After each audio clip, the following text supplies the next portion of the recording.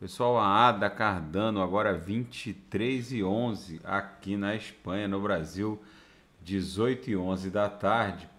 Parece estar desenhando uma clássica figura triangular ascendente.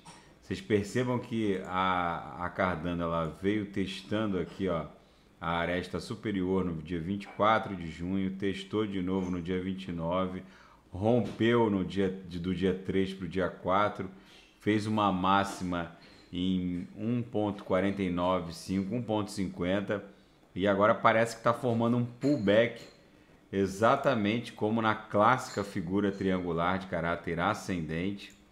Então é muito provável que esse, essa pernada impulsiva rumo a esse novo target resistencial em 1.60 relativo a esses dois topos aqui de 15 do 6 e o topo aqui de 9 do 6 já se inicia, até porque coincide com o trânsito da Cardano por cima do setor verde da nuvem de Shimoku.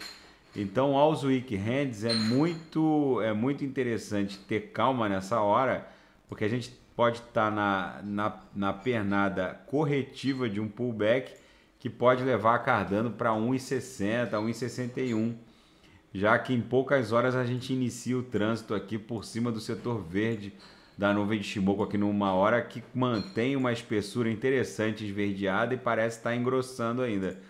Os compradores ainda estão no controle da Cardano, já que a exponencial curta e lenta permanecem fixadas na banda superior da métrica.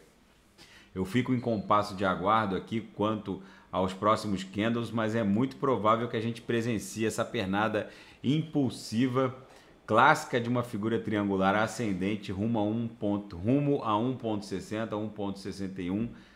Tá bom, pessoal? Daqui a pouco eu volto com a análise de fim de tarde da BTC, da Bitcoin. Grande abraço.